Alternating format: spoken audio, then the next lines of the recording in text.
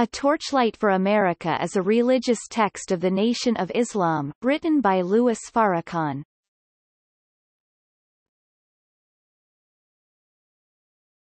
Topic.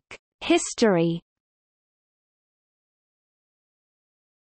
Farrakhan gave a speech titled A Torchlight for America on October 18, 1992, at the Georgia Dome with 55,000 people attending. 1 In 1993, Farah Farrakhan published an expanded form of the speech through FCN Publishing.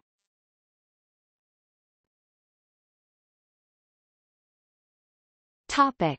Reviews In his text, Terror and Triumph, The Nature of Black Religion, Anthony B. Pinn writes that Farrakhan's work connotes a mainstream take on national developments this is the case because it highlights problems within the American system that many outside the Nation of Islam would recognize as valid points of discussion, based on a system of ethics and morality, of corporate accountability, not uncommon in dominant political discourse. 2. C. Eric Lincoln, the author of The Black Muslims in America, wrote that the essence of Farrakhan is formally spelled out. In A Torchlight for America 3, Cornel West called the text, a call for dialogue. 4.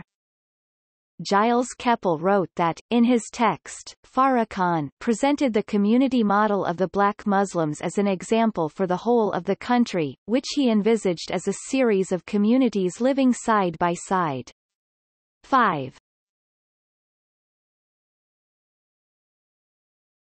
Topic.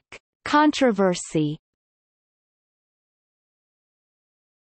The text has been controversial due to its discussions on homosexuality and abortion.